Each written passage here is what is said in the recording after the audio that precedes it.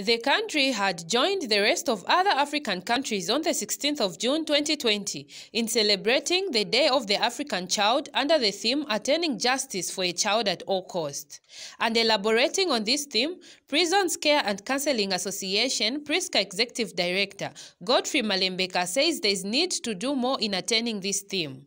Mr. Malembeka explains that however government through the Ministry of Home Affairs is engaging PRISCCA in ensuring that children are protected and receive fair justice in this country.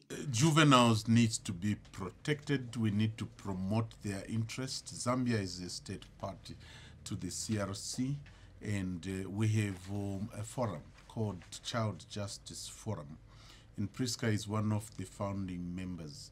We have trained the law enforcement agencies and traditional leaders in 48 districts in Zambia in uh, juvenile justice and uh, children's rights. That is um, the way to go. But also when it comes to those who are incarcerated, we are happy to report that uh, Zambia for the first time in 2018 recognized paralegals. The legal aid policy is in place. So our paralegals in all the provinces, together with those paralegals that are employed by other CSOs, are working with the legal aid board to represent those eh, juvenile. He says the association had begun counseling and training of juvenile offenders and has so far successfully graduated over 300 juveniles. Mr. Malembeka explains that the idea of this exercise is to ensure reforming the juveniles rather than punishing them, and also to merely decongest the country's local prisons. He has, however, appealed to the Minister of Home Affairs, Stephen Kampyongo, to mobilize funds to be diverted to the Department of Registration to issue national registration cards to the prisoners who are slated to vote for the first time ever in the coming general elections. The issue of prisoners uh, participating in elections is a national issue. It is not a political party matter. It is a constitutional matter.